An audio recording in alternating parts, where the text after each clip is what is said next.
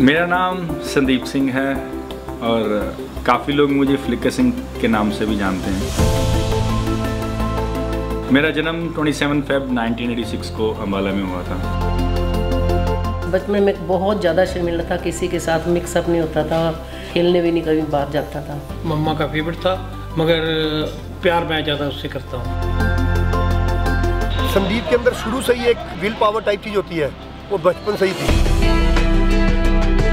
पटियाला में 90 93 में फ्लड आया था। बाढ़ में हम दोनों भाइयों ने जो वो टाइम निकाला वो सबसे दर्दनाक था। वहाँ से हम शाहबाद आए ताऊ जी के घर। वहाँ से हमारी एक्चुअल हॉकी की जर्नी शुरू होती है दोनों भाइयों की मेरी और विक्रम पाजी की। बड़े भाई साहब विक्रम पाजी तो उनका बहुत बड़ा योगदान है मेरी लाइफ में। उनके माइंड में था कि ये मेरा छोटा भाई नहीं एक मेरा ये बेटा है।